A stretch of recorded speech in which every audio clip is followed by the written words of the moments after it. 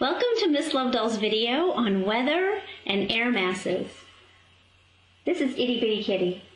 She does not want to be in the house, but it's raining outside, so she has to be. I'm going to let her go now. Unless you want to see her on the video some more. Okay, maybe not. She doesn't look very happy, does she? Okay.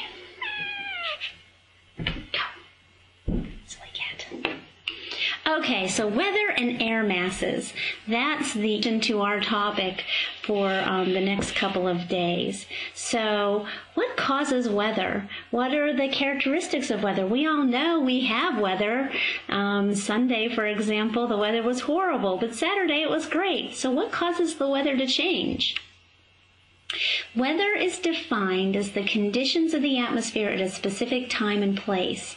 So take a look at these two pictures here. Does it make a difference if it's July or February? Or how about whether or not we're talking about North America versus Australia?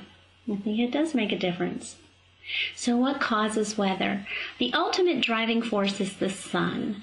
It eats the Earth's surface unevenly because of the tilt of the Earth's axis. And hopefully, you guys remember that from elementary school. But if not, we could do a really quick review. I'll do that in another video. The next principle behind weather is that warm air near the surface can evaporate more water. And this warm air also is less dense, so it rises. And this warm, moist air, as it rises, leaves room behind for cooler, denser air to flow in. This flowing air is wind. In addition, the rising air cools as it gets higher in altitude. And this cooler air can't hold as much water. So if it is a moist air mass, that water starts to condense out into clouds and possibly precipitation. I didn't say rain because sometimes it snows. Weather and the water cycle are closely linked. Humidity, clouds, precipitation are all important parts of the water cycle. You should draw a picture of the water cycle in your notes. In fact, what do your notes look like right now? You could pause this video. I'm not sure if it'll show up very well, but in general, it's the main points of what I've been saying. Air masses are the thing that changes our weather. An air mass is a large body of air that has about the same conditions throughout. Conditions are things like temperature, water vapor, things we can measure. The conditions of an air mass depend on where it was formed. So what does that mean?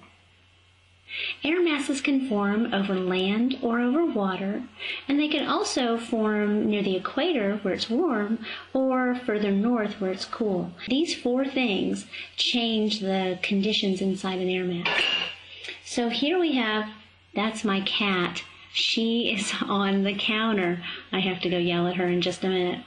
Anyways, um, maritime polar and maritime tropical air, ma- air masses are both formed over water. But maritime polar, you can see those two air masses right off the coast of Northern California and Canada and Alaska, and then on the east coast, off the coast of Nova Scotia.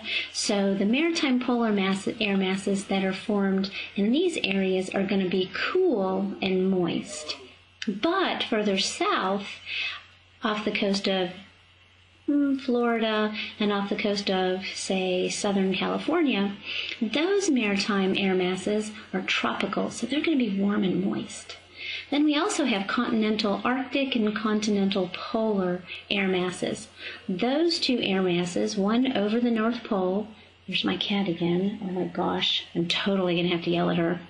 Anyways, the continental Arctic is very cold and very dry, and the continental polar air masses are formed over northern Canada, and they're also cold and dry.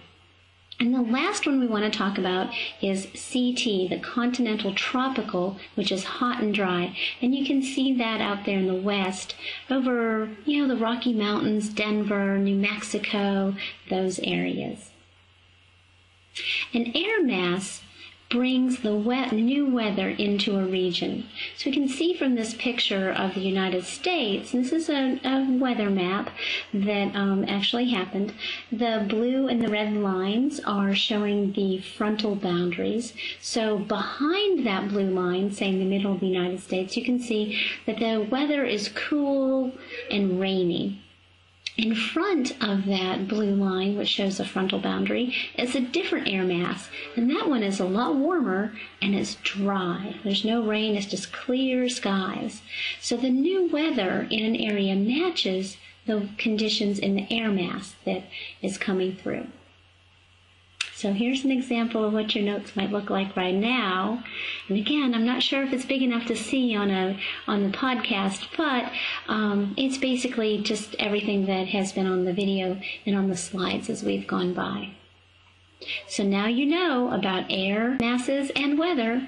And I'd like to thank a bunch of people who provided photos and background information for the video. It makes it a little bit more interesting than just watching slides go by with text and listening to me talk. So thank you. Appreciate it very much.